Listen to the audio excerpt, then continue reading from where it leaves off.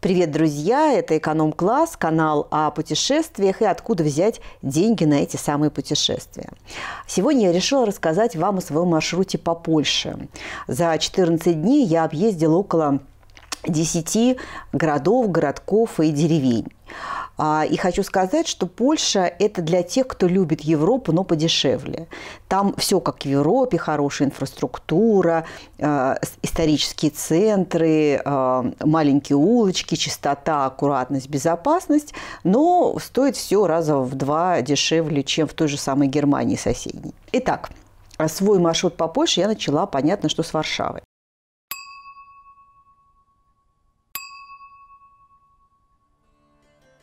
Честно говоря, этот город мне как-то меньше всего запомнился. Опять же говорю, это личное мое мнение, потому что после этого были очень интересные места. Исторический центр Варшавы – это новодел. А в годы Второй мировой войны Варшава, ее исторический центр были полностью разрушены, и а, СССР дал им огромные деньги на а, восстановление, на реставрацию. Да на восстановление, какая там реставрация, там ничего не было. На восстановление старого города. А, и в тысячи, этот э, труд был очень э, высоко оценен, и в 1980 году Варшавский старый город был включен в список ЮНЕСКО, как, цитирую, «исключительный пример почти полного восстановления исторического периода между XIII и XX веками». Вот что мне обидно в этой истории, почему советское правительство не дало денег на восстановление исторического центра Минска и Киева, не менее красивые города. Но, видимо, там была замешана политика. Но вот поэтому сегодня мы имеем очень симпатичный э, э, исторический центр Варшавы, куда ездят э, туристы и всем этим любуются, и деньги стране приносят. А Киев и Минск – прекрасные города, но со стертым историческим прошлым. Ну ладно, мы все-таки о путешествиях. Итак, еще один подарок Советского Союза Варшаве – это Сталинская высотка. Она стоит прямо в центре Варшавы, и, а, по-моему, в 1955 году она была построена, и в этом здании высотой 42 этажа она вмещает в себя сколько там 3000 комнат. Раньше, раньше располагался дворец культуры и науки. А на 30 этаже здания на высоте 114 метров находится смотровая площадка. А, правда, она долгое время пользовалась дурной славой, оттуда прыгали самоубийцы. Сначала прыгнул один француз, а потом э, за ним еще э, шесть поляков. И после этого, это, по-моему, в 1956 году смотровую площадку огородили, и теперь оттуда уже никто не прыгает, поэтому можете сходить полюбоваться на обзорный вид Варшавы. Вот если говорить о том, что мне понравилось и запомнилось больше всего, и куда я вам рекомендую съездить, это Виляновский дворец вместе с парком. Это такой красивый желтый дворец стиле э, барокко, и он окружен не менее живописным, изумительным парком, э, который занимает около 45 гектаров парк – это место для отдыха и такого э, хорошего гедонистического наслаждения. Э, там э, античные скульптуры, регулярные дорожки, он регулярный парк необыкновенные красивые клумбы. Потом там протекает пруд, можно на лодочках покататься или посидеть где-нибудь в тени на скамеечке. В общем, вы получите массу удовольствия, такая тишина, тень, благость и свежий воздух. И обязательно посетите дворец. Вы сможете посмотреть, как жили польские короли в какой роскоши. Конечно, им было очень далеко до Екатерины II с ее Эрмитажем и последующими потомками Екатерины II и российскими императорами, но все равно жили они неплохо. Мне вот, например, больше всего почему-то запомнилась, запомнилась королевская спальня, там такая огромная кровать с балдахином, а, и а, потолок расписанный аллегориями из истории любви короля Яна Собеского и его жены Марысеньки. Он там жил, король, король Ян Собеский в этом дворце. А, а так как мы девочки, мы очень любим мелодрамы, я сейчас вам расскажу эту историю любви. А, будущие правители французская фрейлина встретились на балу, и между ними проскочила искра. Но Марысенька была не свободна, она была повенчана и через два месяца вышла замуж. И по правилам хорошей мелодрамы ее муж оказался кутилой, ловеласом, гулякой. И, в общем, он заразился сифилисом и помер. И влюбленные воссоединились и прожили счастливо 30 лет. Но не круто? Так, следующий пункт нашего маршрута – это средневековый город Торунь.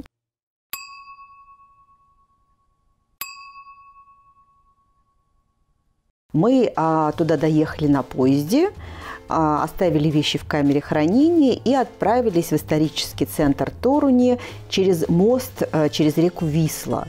Вообще рекомендую вам пройтись пешком, потому что открывается изумительный вид, река, а, стены крепостного города и шпили костелов. Впечатление в самом деле очень незабываемое. При входе в город – а, вы, попадая, вы видите памятник э, великому уроженцу этого города Николаю Копернику. Ну, я думаю, что вы знаете, кто он, но на всякий случай напомню о том, что этот человек вообще такой первый научный революционер – он а, разрушил представление средневекового человека о мире, в котором он живет. Вы представляете, жил себе человек, жил, думал, что он центр Вселенной, что вокруг него все вращается. А Николай Коперник сказал, а, неправда, не а, вокруг Земли все вращается, а Земля вместе с другими, в компании с другими планетами вращается вокруг Солнца, и мы не центр Вселенной. Вот, и в этом великая заслуга Николая Коперника. А, и он родился в Торуне. Что а, интересного в Торуне? Ну, во-первых, в отличие от Варшавы, исторический центр Торуни не был разрушен в годы войны, и поэтому все, что называется, аутентичное – все осталось в первозданном виде. Тору неизвестна своей так называемой готической, э, кирпичной готикой. Это вот готические здания, вот такие высокие, знаете, со шпилями огроменные, построенные из красного кирпича. А из этого построены церкви, ратуши очень красивые, мещанские дома, в том числе, кстати, дом э, семьи Николая Коперника. Смотрится реально очень э, нарядно. Там же в Торуне сохранились э, руины Тевтонского замка. А, собственно, Тевтонский орден и основал этот город э, э, как такой форпост для завоевания мира и вовлечения его в христианство. И еще одна визитная карточка Торуни – это туринские пряники. Их возраст насчитывает где-то около 700 лет – а, в основу входят эм, ржаная мука, мед и очень-очень много специй. А, пряники вкусные, реально. Они черненькие такие. И на них всегда изображают рыцарские турниры, каких-то польских королей и героев. Поэтому будете в Торне, купите в качестве подарки. Это вкусно, нарядно, красиво и необычно. А вот, собственно, и все в Торуне мы провели около трех-четырех часов. Этого вполне достаточно. Потом вернулись на вокзал, сели на поезд и отправились в город Гданьск.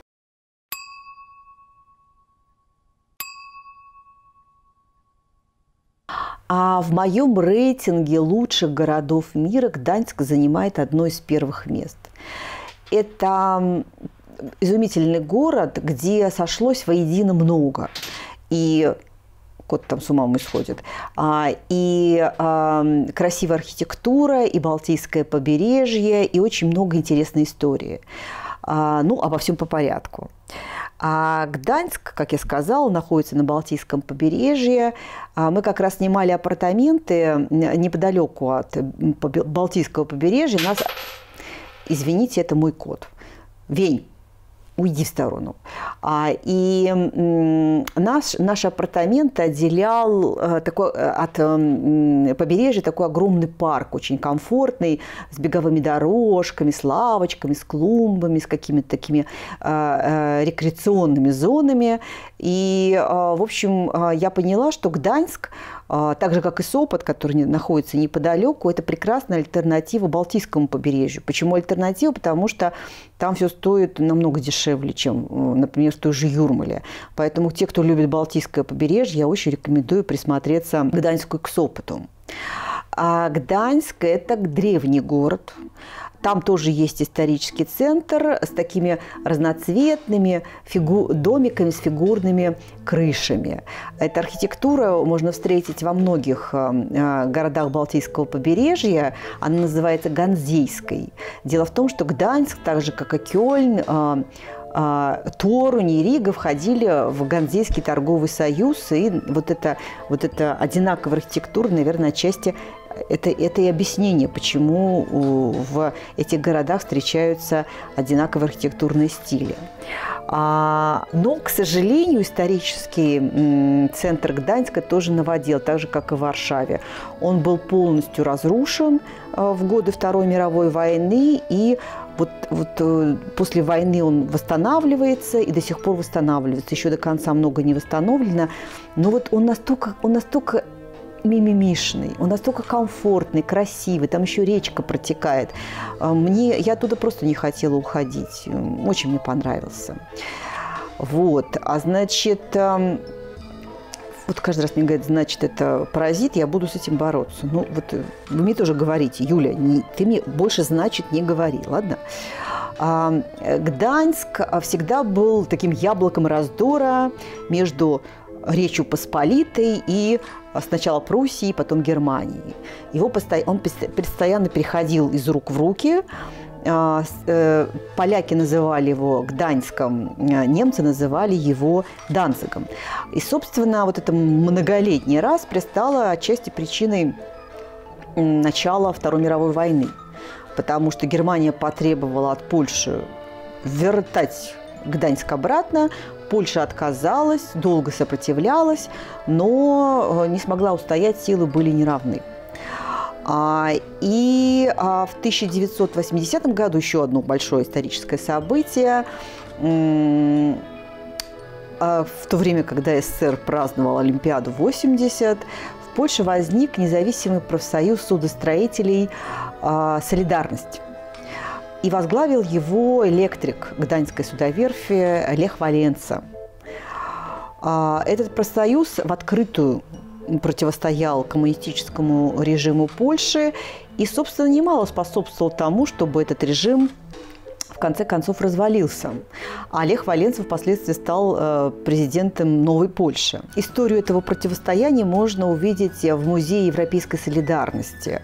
Э, потрясающий музей э, и снаружи, и внутри. Снаружи это такое, он похож на такое ржавое э, здание судоверфия. Но ржавое оно не от времени, а по задумке архитекторов. И это впечатляет. А и внутри очень интересная экспозиция, она такая сделана, она интерактивная. Там очень много хроники, видеохроники. Ее можно посмотреть, например, в УАЗике для работников судоверфи или некоторые краны прям встроены в каски сварщиков. И вообще какое-то странное ощущение от этого музея. В 80-е годы, мне там около 10 лет, а, Олимпиада 80, в общем, все замечательно и хорошо. А в Польше в это время уже демократическая революция вообще подрывает основы коммунистического режима. Естественно, об этом не было никакой информации в советской газете. И вдруг ты понимаешь, боже мой, в каком ты вакууме жил, и как ты был счастлив, и как ты верил в счастливое коммунистическое или социалистическое будущее. Ну, может быть, в Москве и не верили, у них там радио «Свобода» было и прочие штуки, а, диссидент, диссидентские.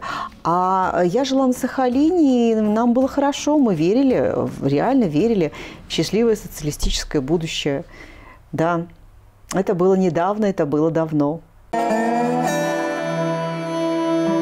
А из Гданьска на электричке можно добраться до еще одного очень симпатичного городка Сопота.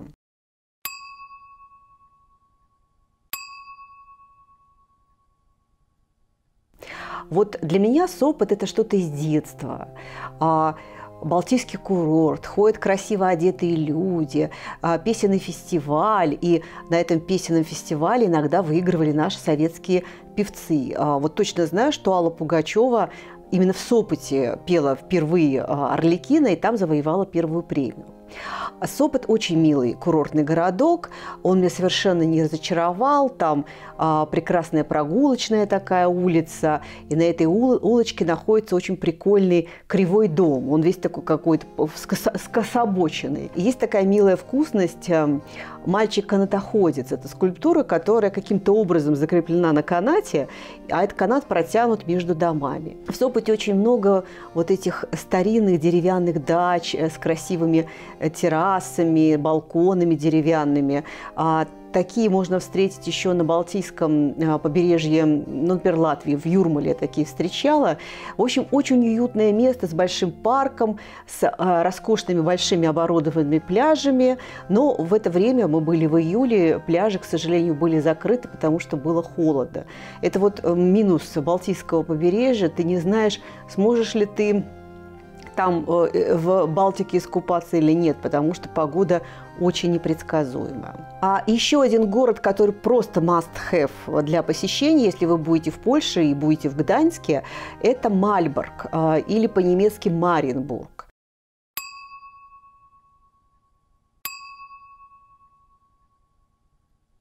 До него можно добраться тоже из Гданьска на поезде. Весь XIV век и часть XV Мариенбург был а, столицей Тевтонского ордена. И там а, сохранился самый крупный кирпичный замок, который служил резиденцией магистра Тевтонского ордена. Замок в самом деле впечатляет размерами, он огромный, и он занимает огромную площадь, 20 гектаров. Там четыре линии обороны. К сожалению, в годы войны этот замок тоже очень сильно пострадал, и э, там были очень богатые интерьеры, есть фотографии, которые показывают, насколько они были красивы, а, но они э, полностью утрачены. Что-то сохранились, какие-то отдельные украшения, отдельные скульптуры, пол сохранился, но сохранилось очень мало. Но еще сохранились клозеты. А, оказывается, самыми почитаемыми людьми в Тевтонском ордене был сам магистр и повар – и вот у этих двух людей только у них а, в этом замке были собственные клозеты. Остальные справляли нужду в башне, которая стояла неподалеку, так, такая специальная башня-нужник. И с основным замком эту башню соединял деревянный переход. И когда на замок кто-то нападал, то монахи перебегали этот замок-нужник, сжигали деревянный переход и м, ожидали подкрепления. Вот как раз э, у них проблем не было, куда сходить по большому и по маленькому. После Мальборга мы вернулись в Гданьск, сели на ночной поезд и отправились во Вроцлав.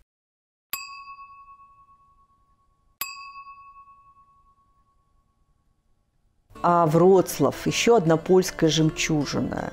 Через город а, протекает пять рек – Одра и, четыре ее притока. До Второй мировой войны во Вроцлаве было 303 моста. Сейчас, по-моему, около 130. А в центре города, ну, как и положено, исторический центр, расположена, как и положено, рыночная площадь. Это одна из самых больших площадей в Европе, она уступает э, только Крак... э, и в Польше, в Польше, наверное, она уступает только рыночные площади в Кракове. Также стоят вот эти разноцветные домики с фигурными крышами, а в центре площади стоит изумительно красивая ратуша. Вот мне кажется, что это одна из самых красивых ратуш не только в Польше, но и в Европе. А рядом с ратушей расположен такой оригинальный э, стеклянный фонтан. Такие стеклянные плиты, и по ним стекает вода. Смотрится, кстати, очень интересно. Вот это соседство э, современности и древности. Самые красивые соборы, самые красивые дома во Вроцлаве расположены на Тумском острове. Это такой островок прямо в центре Вроцлава. И ты, когда уже начинаешь к нему подходить, вид, видны а, шпили а, одного из древнейших а, храмов, а, католических храмов Польши, кафедрального собора Иоанна Крестителя. А также любителям всякой романтики я советую посетить остров Тумский вечером потому что там вы сможете встретить интересного мужчину в таком, в таком пальто крылатки, старом старинном пальто и с тростью факелом в руке. Это фонарщик – да, на острове Тумске сохранились газовые фонари. Каждый вечер этот мужчина зажигает их. И вот в это время на остров любят приходить влюбленные и признаваться друг другу а, а, в чувствах, в любви. И в знак крепости этих чувств вешают на перила Тумского моста замки. Ну, очень романтично. Ну и, конечно, нельзя не упомянуть про знаменитых вроцлавских гномиков – бронзовые фигурки небольшие, вот этих карликов разбросаны по всему городу, ну, больше всего в центре. По-моему, по-моему, вот последние данные было, что их около 400. Но самая интересная история этих гномиков, я была уверена, что это как-то связано там с европейскими легендами, сказками, но на самом деле, как ни странно, а, гномики – это символы противостояния коммунистическому режиму Польши. В 80-х годах во Вроцлаве образовалась эм, такая а, подпольная группа художников, которая называлась «Оранжевая альтернатива», и они решили а, противостоять власти не прямолинейно, как это делала, например, та же «Солидарность», а путем такого завуалированного издевательства над тоталитарным режимом. Сначала они, они вот придумали этих гномиков, а сначала они а, рисовали этих гномиков поверх а, замазанных милицией лозунгов на стенах домов. Так как эти гномики, в общем, не нашли никакого там антикоммунистического протеста, то и милиция не знала, что с ними делать, зачем замазывать. Вот они, гномики, оставались. Ну, а 1 а, июня 1987 года на улице Свидинской во Вроцлаве состоялась демонстрация гномов. Десятки людей в оранжевых колпаках танцевали, пели, играли на гитаре. Но так как все-таки э, демонстрация или митинг или встреча была не санкционирована, милиция а, а, призвала их разойтись. Они не согласились. Тогда милиция начала хватать гномиков и забрасывать в их в, авто, в автозаки. Вот представляете, да, себе картину. Автозаки полные гномиков в оранжевых колпаках. А рядом с наполненными автозаками стоят другие гномики в оранжевых колпаках и возмущаются, что им не хватает места в автозаках и требуют, чтобы увеличили количество посадочных мест. Вообще, абсурдность этой ситуации трудно себе представить. Хохотали все. Но вот просто представьте себе ситуацию а, допроса гномика. На каком основании вы выступа... участвуете в демонстрации гномов? В общем, и самое главное, что а, они же активно не противостояли милиции. Они пели, танцевали, а и когда милиция начала их задерживать, они не камнями в нее кидались, а конфетами. А спустя год, 1 июня уже 1988 года, на той же улице Свидинской а, была организована другая демонстрация под названием «Революция гномов». В общем, в конце концов, власть пала, но память о оранжевой альтернативе и ее э, протесты, протесте забавном осталась. И в 2001 году на улице Свидинской был построен памятник в честь оранжевой альтернативы в виде бронзового гномика. А впоследствии а, количество гномиков стало расти, и они стали символом города. Вот такая прикольная традиция. Рядом с Аврословым находятся еще два небольших городка, в которых расположены две уникальные деревянные церкви.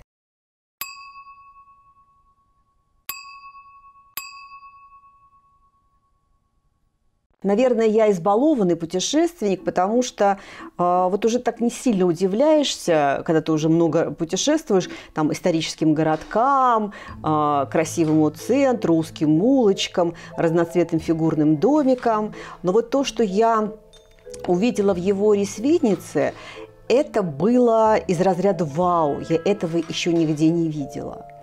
А представьте себе, стоят такие довольно большие фахверховые дома. Это такие белые дома с черными балками. Очень простые с виду. И вы заходите внутрь и попадаете в храм, в театр и в картинную галерею одновременно. Красота невозможная. По бокам расположены многоярусные галереи, и они украшены картинами а, на библейские темы. А, и вот эти галереи очень похожи на балконы. На балконы в театрах, только вместо сцены стоит алтарь. А, эти храмы очень вместительные. Э, э, храм а, в Еворе вмещает 5 тысяч человек, а в Свиднице аж 7 тысяч человек, и все это было сделано не от хорошей жизни.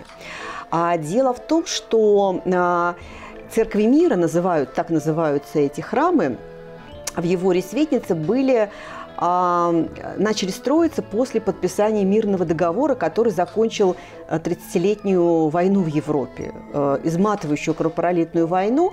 Она изначально начиналась как Э, такая религиозная война между э, католиками и протестантами, а потом вылилась вообще в войну против доминирования э, династии Габсбургов в Европе. В результате этой войны у Габсбургов часть территории а, забрали, но его рассветницы остались на а, территории Великой Священной Римской империи.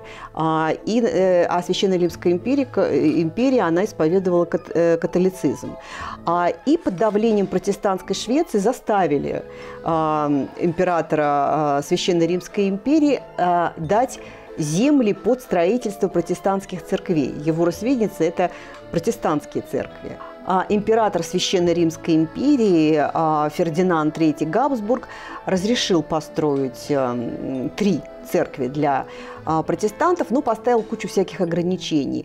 Они должны были быть построены из недолговечных материалов, глины и дерева, должны быть построены за чертой города, на деньги протестантов и т.д. и т.п.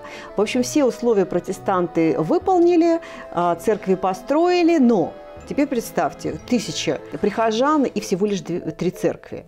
Поэтому вот вся эта история с многоярусными э, галереями, это как раз решало вопрос вместительности, чтобы побольше прихожан смогло поместиться на службе в, в церкви. А во Вроцлаве мы взяли машину на прокат и отправились в сторону Кракова.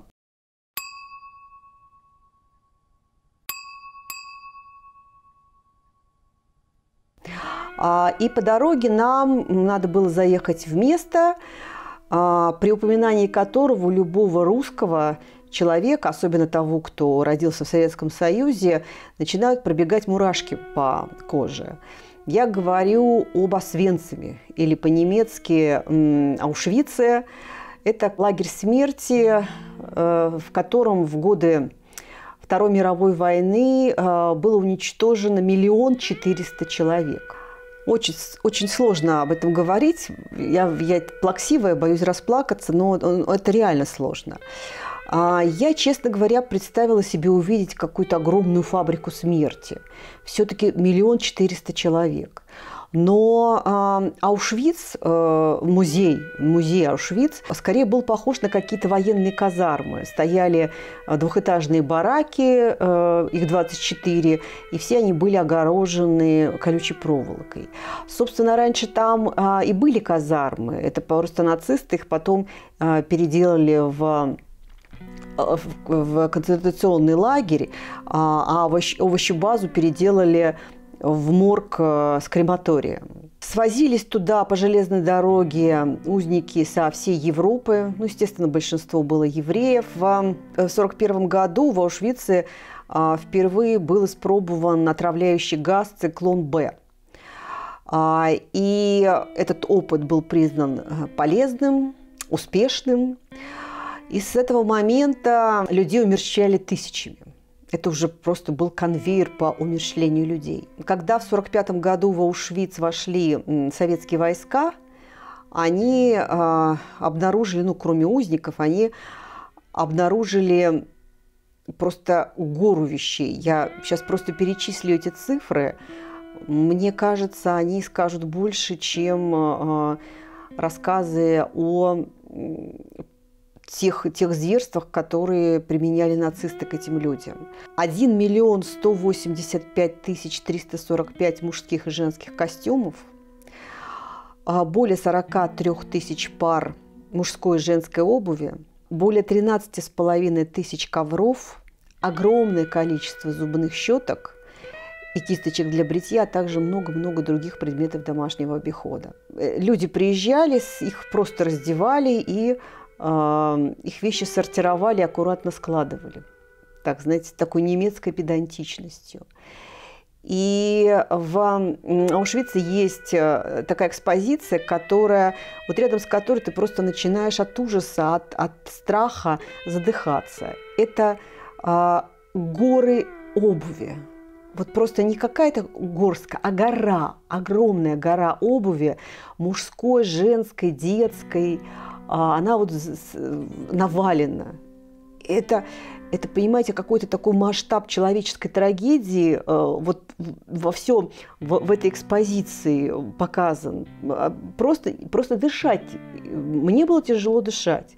Следующее – это гора кружек и каких-то столовых принадлежностей. Вот понимаете, я сколько угодно могу смотреть фильмов, слышать рассказов, но когда ты это видишь, ты видишь такую сконцентрированную человеческую боль, сконцентрированную человеческую смерть вот в этих, а, вот в этих каких-то бесконечных а, горах а, одежды, посуды, чемоданов. Это страшно, это очень страшно, и моя дочь, конечно, она, ей там тогда было э, лет, по-моему, 12, и а, с ней случилась истерика настоящая. Но я нисколько не жалею, что я ее туда сводила, я считаю, что надо это сделать, потому что это так хорошо ставит мозги на место. Вы знаете, после этого как-то язык не поворачивается а, назвать свой народ а, а, или себя умнее, а, сильнее, круче другого и присвоить себе право распоряжаться жизнью другого народа, другого человека, который с вашей точки зрения в чем-то вам уступает. Ладно, давайте о хорошем. Краков. По мне, так самый красивый, музыкальный и креативный город Польши. Не говоря уже о том, что в Кракове находится Вавильский замок, это резиденция польских королей, и по значимости для Польши это все равно, что Красная площадь для России.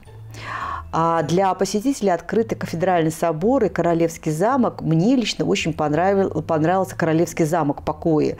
Королевские покои и особенно изумительно красивая мебель эпохи Ренессанса. А в Кракове находится самая большая рыночная площадь Европы, и а, по центру площади как правило, стоят э, торговые ряды, но эти торговые ряды больше похожи на готический замок. Очень красивая площадь. А, еще рыночная площадь в Кракове – это такой бесплатный концертный зал. Такого количества музыкантов, виртуозов я не встречала ни в одном городе мира. А, ну, может быть, только вот в Париже, недалеко от Лувра, играет, э, играли ребята скрипачи изумительные. А, и вообще Краков, он весь пропитан музыкой. Там а, одни из лучших в Европе джазовый клуб. Обязательно сходите. А, во многочисленных а, костелах Кракова даются изумительные органные концерты. А, поэтому вот как только звучит слово «Краков», у меня почему-то джаз и органная музыка. И это неудивительно. И еще для тех, кто в теме, а, в, в, улы, в маленьких узких улочках неподалеку от рыночной площади разбросаны магазинчики, где продается необычная авторская бижутерия. Я, э, как большой любитель этого, хочу вам похвастаться. Вот я купила там вот такой, вот такое колье.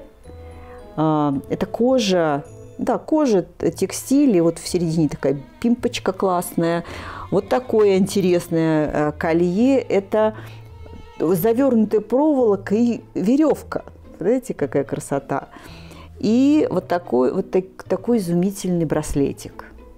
Это все куплено в Кракове, поэтому те, кто в теме, рекомендую не пропускать этот э, приятный нашему сердцу шопинг. Вы знаете, в Польше, так же как и во всей Европе, много красивых дворцов, парков, площадей, но большинство из них из разряда где-то я такое видел. Ну там э, Романский замок, дворец в стиле барокко, готический замок. А, но есть Величкий музей, которого нет нигде в мире. Это соляная шахта Величка. Она находится неподалеку от Кракова.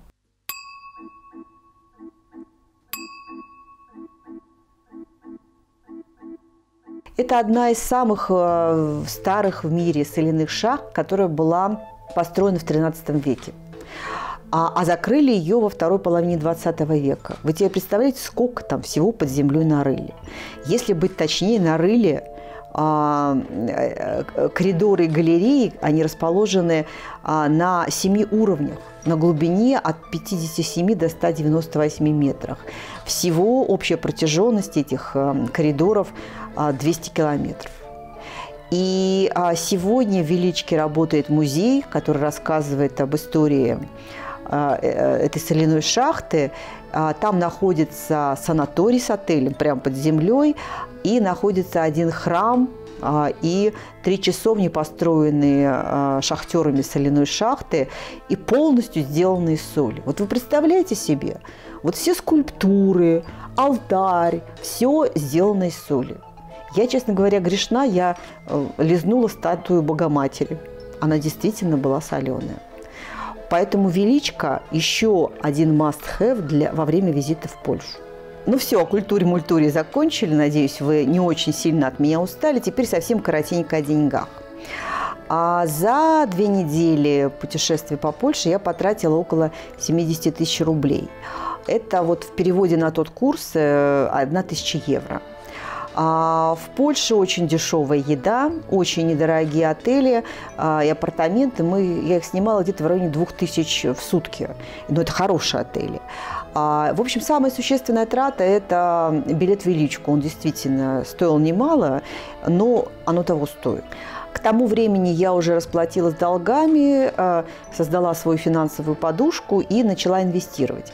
Кстати, о том, как мне удалось не жить от зарплаты до зарплаты, не будучи женой любовницей олигарха, а будучи матерью-одиночкой, которая имела кредиты за квартиру и ремонт, и еще содержала двух э, пожилых родителей. Вот как мне удалось не жить от зарплаты до зарплаты, а при этом еще откладывать деньги и выстраивать свой пассивный доход, вы можете узнать из моего видео. А, в общем, а, живите с удовольствием и при этом за разумные деньги и оставайтесь со мной. Мне с вами очень интересно. Не знаю, как вам. Надеюсь, тоже. Пока.